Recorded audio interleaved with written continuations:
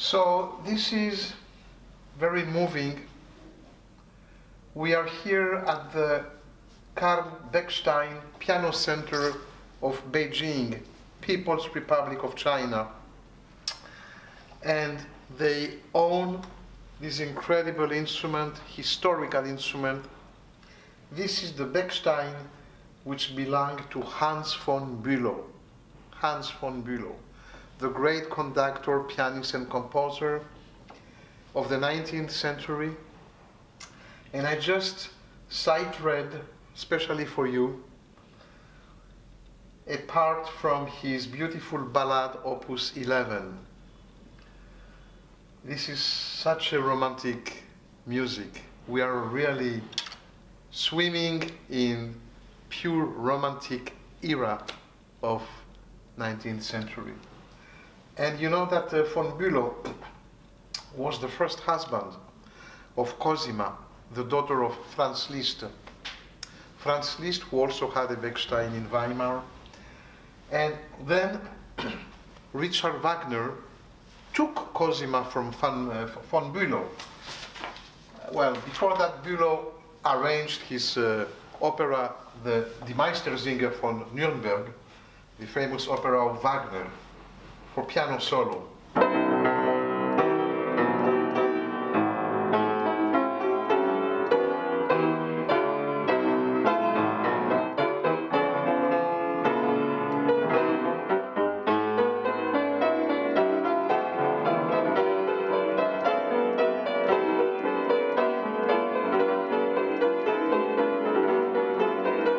It's incredible to play this music on the piano of von Bülow.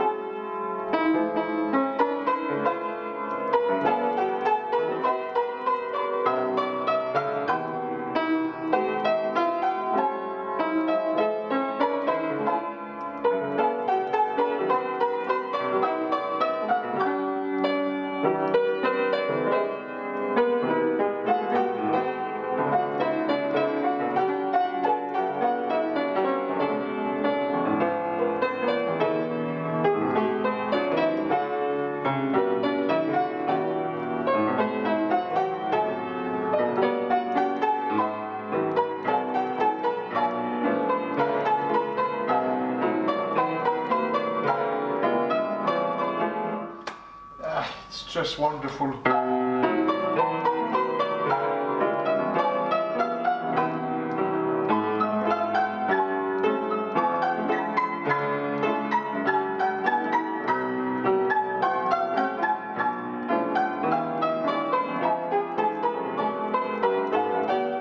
And so on.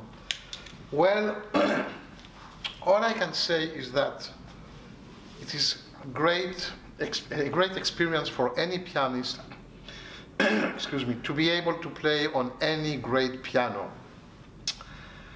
And uh, of course, several brands have great pianos, but some of them have something very special because of history. When one thinks that before the Second World War, Beck, the Bechstein piano was the favorite piano of all the greatest uh, pianists. They recorded on Bechstein, they performed concerts on Bechstein. When you think that Debussy said that it's the only piano uh, for which uh, one should write piano music, when you think that Rachmaninoff uh, composed his uh, first two concertos on a Bechstein, and so many other composers and pianists used it. Well, I was wondering why, after the Second World War, uh, the Bechstein somehow disappeared, you know? Well, it's very simple. During the Second World War, as you know, Germany was destroyed by the bombs, and the factories of Bechstein were also destroyed by the bombing. So it took them a lot of time to rebuild an image, a real good image. I remember 30 years ago when I was uh, recording for Teldec exclusively.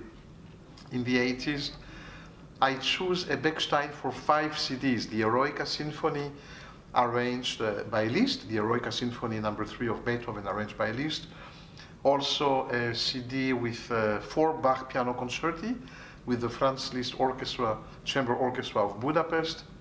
I also accompanied uh, the great British uh, singer uh, Margaret Price in 17 Lieder of Liszt, and so on. And then that piano was sold. I couldn't get it any longer.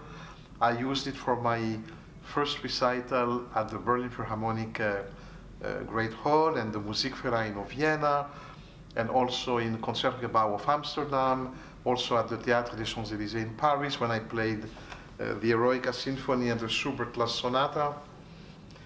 And uh, recently, I found out that Bechstein uh, manufactured a new concert grand, so I went to Berlin in December 2015 to try them, and I was really impressed. Then I decided to record a CD on the new concert grand of Bechstein. And this CD is called Elective Affinities. Why? First of all, I wanted to show several aspects of this piano because I personally believe that the responsibility of the pianist is huge when he or she plays on a, any piano. Uh, it is his or her responsibility to get the best from the piano, whatever quality has the piano. Of course, now we are talking about a Rolls Royce of pianos with, uh, uh, with Bechstein. but even if you play on a less good piano, whether it's Bechstein or any other brand, it is our responsibility to get the best from it, right?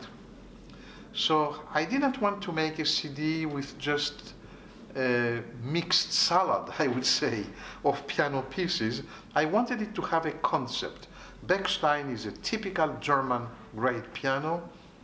And the idea was to group pieces uh, by two, sometimes by three, and, some, and one time by four. Uh, I'll explain more in a few seconds. Uh, not just German, Germanic music. Uh, the idea was to group them with the concept, through the concept of affinity. What is affinity? Affinity is one of the definitions is the affection, the friendly feeling or the love feeling two people have uh, between themselves, mutual affection. It's also possible to describe affinity as some common denominator, you know, some uh, uh, common point between two things or entities. And uh, as you probably know, the most famous novel of Goethe was called Elective Affinities.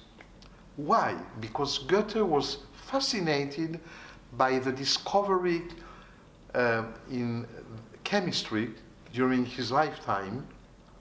They found out that when two elements have affinity between themselves, when they match, when they match, their components also will have further affinities between those two elements. And he wrote his famous novel, Elective Affinities, on that subject. It's the story of two couples, man wife, man wife, who spend, I think, holidays together, who spend some time together. And the man of a couple A falls in love with the wife of the couple B, and vice, excuse me, the husband of couple A falls in love with the wife of couple B, and vice versa. So the two first pieces of the CD are based on texts of Goethe. Um, I think we have the first uh, recording ever of the piano version, piano arrangement of uh, Egmont, the famous overture by Beethoven, based on Goethe. Um, this arrangement was made during the lifetime of Beethoven. There is no proof that he might have uh, done himself this arrangement, but it's possible that Beethoven himself did it because we know through letters to his editor, to his publisher, that he was aware of that arrangement. And it's uh, grouped with a beautiful Lied song of Mendelssohn called Suleika on a text of Goethe, uh, but to be more precise, the text was on a famous uh, great poetess of that time uh, who Goethe knew. And then we have another example of affinity, for example, uh, titles. Schumann was the first ever to use uh, the title novelette, which means a small novel, in uh, some of his pieces, and almost no other composer used it. Uh, one of them was Francis Poulenc, the French composer. So we have two pieces, two novelettes by Schumann and Poulenc, um, linked, of course, through the title novelette, and so on. So the CD has also, for example, during the Austro-Hungarian Empire, uh, I recorded the 13th Hungarian Rhapsody of Liszt and one of the most famous waltzes of uh, Johann Strauss, uh, Wiener Blut, Viennese Blood, arranged by Eduard Schütt, who was a great pianist in the 19th century, born in St. Petersburg in Russia. Or you have, for example, another group of two pieces um, Ravel, Laideronnette, Impératrice des Pagodes, which is for four hands. Uh, there is a two hands arrangement by a friend of Ravel uh, called uh, Jacques Charlot. And I choose this piece because it has a Far East flavor. It could be Chinese music. And I put it together with one of the most famous songs in China, called the Liuyang River. It's based on, uh, on the river Liuyang. And this is a song during the um, kind of tribute to the revolutionary times of Mao Zedong. And you also have, uh, let me give you just one or two more examples. Uh, Chopin, a mazurka of Chopin, a mazurka by the friend of Chopin, Julian Fontana, who was responsible for a lot of publishing of Chopin's music, and he was also an excellent pianist and composer. He was from Poland also. A little tribute by Schumann on uh, Chopin called Chopin, which is part of his carnival. And a piece I wrote as much as possible trying to get closer to the style of Chopin. Why?